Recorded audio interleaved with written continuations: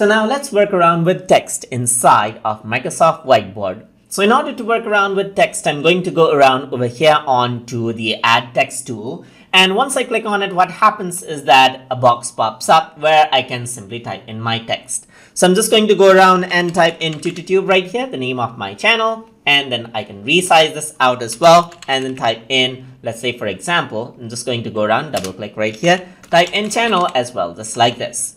So this is what I have as you can see. If I were to click this, you can see that I can go around and edit the text by clicking on that. Click out to actually uh, like remove, um, like just go out onto normal mode. You can click and drag it anywhere as you wish. And then you can uh, scale this out by using this little um, dot right here and rotate it out as well. And then you can see you can like it right here as you can see and then you can go around and then change the text color as well by clicking on the text color option right here. Change it to red right here, change it to purple, change it to green as you wish.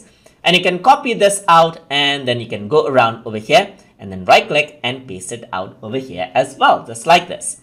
So you can see that you can delete the text out as, out as well if you don't want to and you can go around into more options and you can go around and cut it and right click and paste it as well if you want to just like this.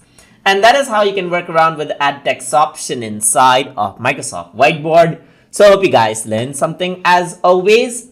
And as always, please like, comment, share, and subscribe